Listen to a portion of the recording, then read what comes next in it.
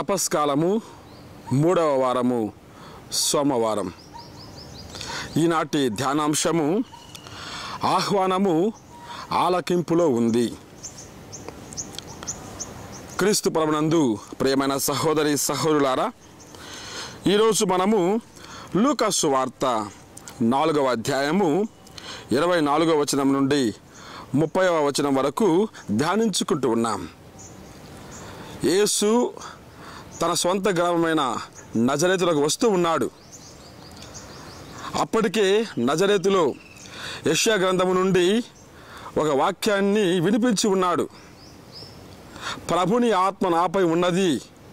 పేదలకు సువార్తను ప్రకటించుటకు ఆయన నన్ను అభిషేకించాను అని ప్రభువు తన కర్తవ్యం గురించి ఆయన ప్రకటించడాన్ని మనం చూస్తూ ఉన్నాము. అదేవిధంగా నాలుగవ అధ్యాయము ఇరవై ఒకటో వచనములో ఈ ప్రవచనము నేడు మీ ఎదుట సంపూర్ణమైంది నెరవేర్చబడింది అన్నటువంటి ఆ వాక్యాన్ని కూడా మనం చూస్తూ ఉన్నాము. ఇటువంటి తరుణములో ఆయనను అందరూ కూడా నిరాకరిస్తూ ఉన్నారు. ఈయన యోసేపు కుమారుడు కదా ఈయన తల్లి మరియమ్మ కాదా ఇతని సోదరులు మన మధ్యలో లేరా అని ఆయనను అందరూ కూడా తన స్వదేశీయులే ఖండిస్తూ ఉన్నారు నిరాకరిస్తూ ఉన్నారు. అప్పుడు ప్రభు అంటూ ఉన్నాడు ఏ ప్రవక్త కూడా తన స్వదేశములో అంగీకరింపబడడు అన్నటువంటి అంశాన్ని ఆయన స్పష్టంగా తెలియజేస్తూ ఉన్నాడు. మరి ఇటువంటి తరుణములో ప్రియులారా మనం గ్రహించే ఒక సత్యము నిజమైన ఆలకింపు నిజమైన ఆహ్వానము ఆయన మాటను అంగీకరించడంలో ఉంది అని గ్రహించాలి.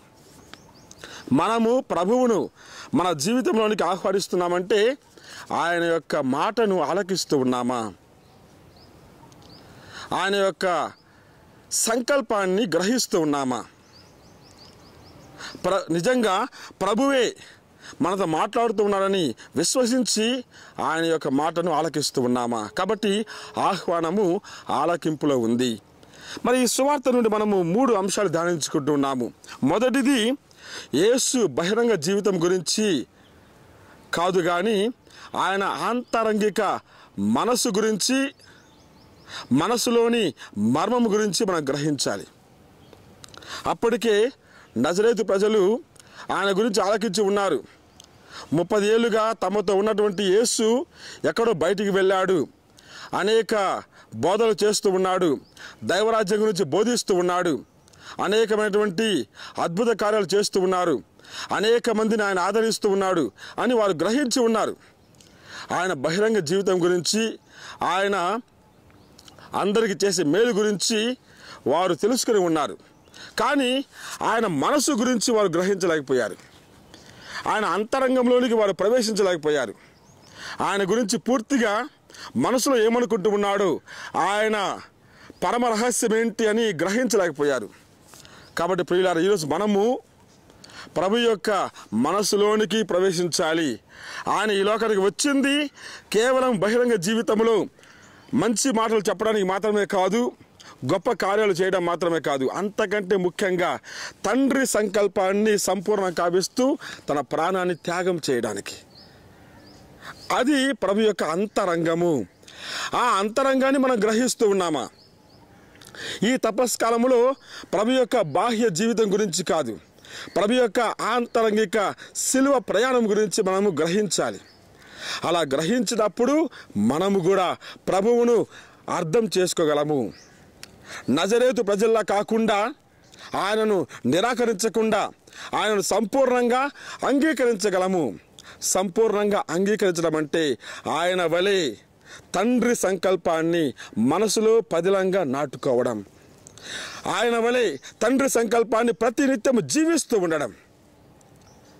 చివరకు ఆయన వలె ఆ తండ్రి సంకల్పాన్ని పరిపూర్తి చేయడానికి సిలువలో ప్రభువులా మనము మన జీవితాన్ని త్యాగం చేయడము.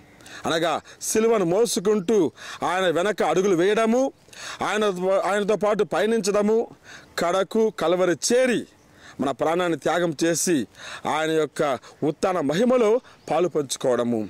కాబట్టి ప్రియులారా ఈ సమయంలో మనం ప్రభు యొక్క అంతరంగంలోనికి ప్రవేశిద్దాం. ఆయన వ్యక్తిత్వాన్ని గ్రహిద్దాం ఆయన మనస్తత్వాన్ని అలవర్చుకుందాం తద్వారా ఆయనను అనుసరిద్దాం. ఆ విధంగా ప్రభువును మన జీవితంలోనికి ఆహ్వానించుకుందాం. అందుకొరకే నిజమైన ఆహ్వానము ఆయనను ఆలకించడంలో ఉంది అని గ్రహించి ఆ విధంగా జీవిద్దాం. దేవుడు మనందరినీ దీవించునుగాక. ఆమెన్.